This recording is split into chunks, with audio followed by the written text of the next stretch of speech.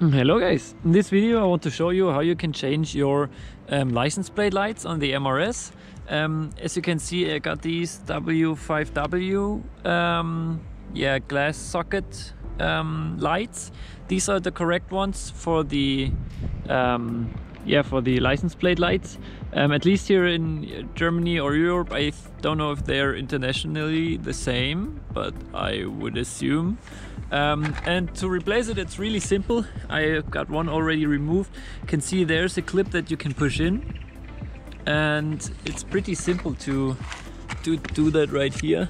As you can see, I don't know if you can see it. Here's that clip, you just push it in. Or is it this side? Yeah, it's this side. Wait. You push that in and then you can like pry the light out like this as you can see right here.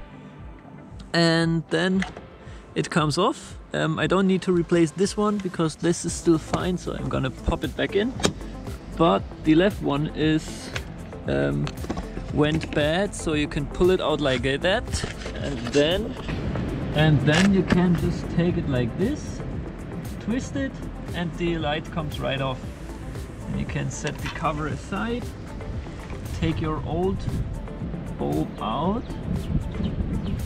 And as you can see on the bulb I don't know if you can see it but it says W5W um, 28N and some other stuff made in Japan on here. You can set this one aside. You can see or I can see it's broken.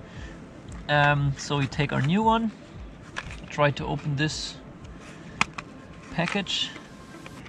There is our new bulb. We can compare it. It's the same. So we're gonna pop it back in.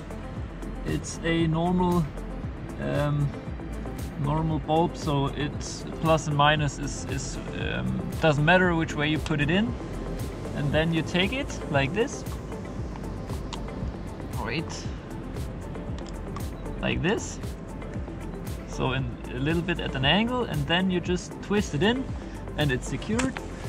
And then you can just simply like I showed you how to take it out you can put it in in the same order.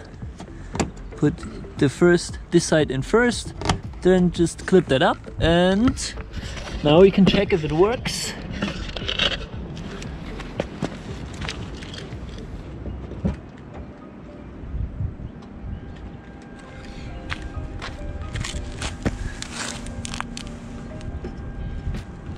Perfect.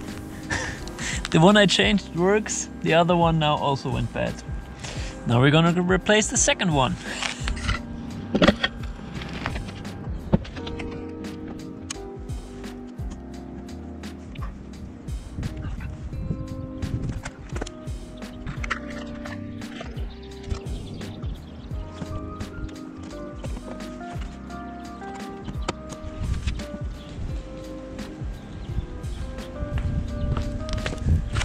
Perfect. As you can see both lights work. nice. I would say thanks for watching and i will see you in the next video hopefully. Bye